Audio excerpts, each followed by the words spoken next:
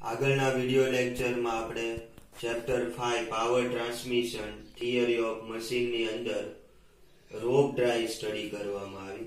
હવે chain drive ખાસ ધ્યાન આપજો. ઓકે કાર્બન સ્ટીલ ધાતુની પ્લેટમાંથી ચોક્કસ આકારની લિંકને રોલર બુશ તથા પિનની મદદથી જોડીને મેળવેલ એક એન્ડલેસ લંબાઈ સળંગ લંબાઈ વાળા ઘટકને ચેન કહેવામાં આવે છે. ઓકે? ચેન ડ્રાઈવ તમે જોઈ રહ્યા છો ખાસ. ઓકે? કાર્બન, સ્ટીલ, ધાતુની પ્લેટમાંથી ચોક્કસ આકારની લિંકને રોલર બુશ તથા પિનની મદદથી જોડીને મેળવેલ એક એન્ડલેસ સળંગ લંબાઈવાળા ઘટકને ચેન કહેવામાં આવે છે.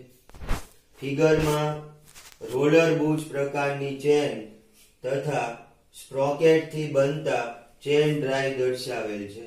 જ્યારે કોન્સ્ટન્ટ વેગ ગુણોત્તર તથા સ્લીપ રહિત પાવર ટ્રાન્સમિશનની જરૂરિયાત હોય, ત્યારે ચેન ડ્રાઈવનો ઉપયોગ કરવામાં આવે છે.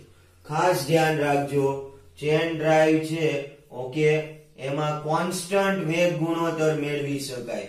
બેલ ડ્રાઈવ અને રોપ ડ્રાઈવમાં મેળવી શકાય નહીં, ઓકે?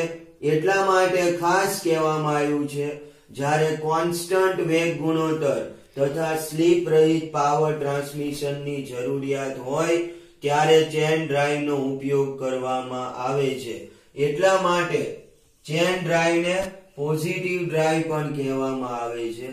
ખાસ ધ્યાન આપજો. હવે ચેન ડ્રાઈવના મેન ઉપયોગ આપણે સાયકલની અંદર, મોટરસાયકલની અંદર, ટેક્સટાઇલ મશીનની અંદર, પ્રિન્ટિંગ મશીનની અંદર ચેન ડ્રાઈવનો ઉપયોગ કરવામાં આવે છે. સાયકલ, મોટરસાયકલ, ટેક્સટાઇલ મશીન અને પ્રિન્ટિંગ મશીન. ઓકે? હજુ એકવાર ફરીથી સમજાવું છું. ખાસ ધ્યાન આપજો.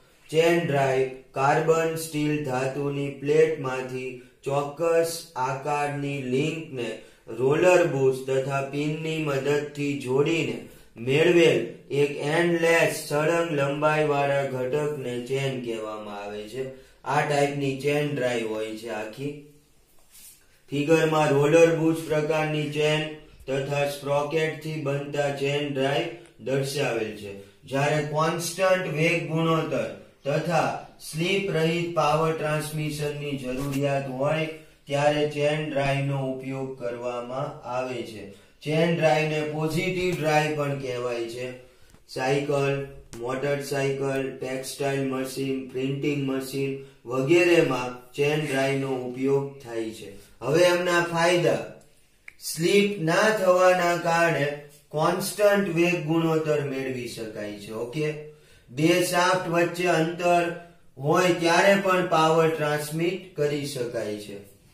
બેલ ડ્રાઈવની સરખામણીમાં જગ્યા ઓછી રોકે છે. બેલ ડ્રાઈવ કરતા એવરેજ લાઈફ વધારે છે. બેલ ડ્રાઈવ કરતા ટ્રાન્સમિશન એફિશિયન્સી વધુ છે. હજુ એક વાત સમજાવું. સ્લીપ ના થવાના કારણે કોન્સ્ટન્ટ વેગ ગુણોત્તર મેળવી શકાય. એમનો પહેલો એડવાન્ટેજ છે. બે શાફ્ટ વચ્ચે અંતર હોય ત્યારે પણ પાવર ટ્રાન્સમિટ કરી શકાય. બેલ ડ્રાઈવની સરખામણીમાં જગ્યા ઓછી રોકે. એવરેજ લાઈફ વધારે છે એફિશિયન્સી પણ વધારે છે. એમના ડિસએડવાન્ટેજ બેલ ડ્રાઈવ કરતા કિંમત વધારે છે. બેલ ડ્રાઈવ કરતા અવાજ વધુ કરે છે.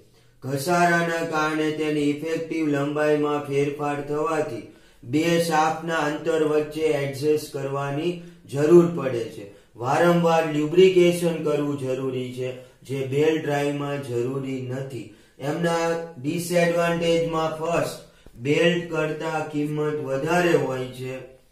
બેલ ડ્રાઈવ કરતા અવાજ વધુ કરે છે. ઘસારાના કારણે તેની ઇફેક્ટિવ લંબાઈમાં ફેરફાર થવાથી બે શાફ્ટના અંતર વચ્ચે એડજસ્ટ કરવાની જરૂર પડે છે.